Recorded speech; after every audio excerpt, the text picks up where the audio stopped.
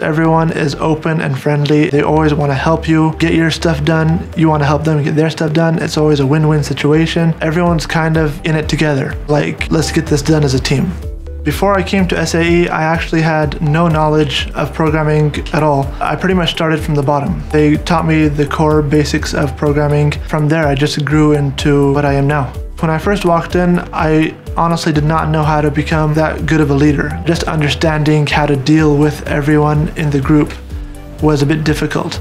But after getting used to that and becoming better at it, it's, it's a lot easier right now. I'm actually able to assign tasks, give deadlines, understand uh, what it is they need from me, what it is I need from them, and it really helps a lot.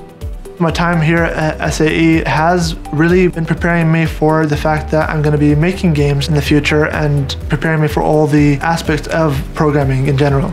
They have this uh, internship unit. For games specifically, it's a little bit harder to get an internship here in the UAE. So that's why they're here to help you out and provide more assistance for you to actually get the internship. Our major project for this semester, which I'm really proud of, is called uh, Not for the Faint of Heart, which we're using in uh, an Oculus Rift for. That really helps us expand the possibilities of what our game could be like. If I had to describe SAE in one word, I would probably say it's fun. It's fun.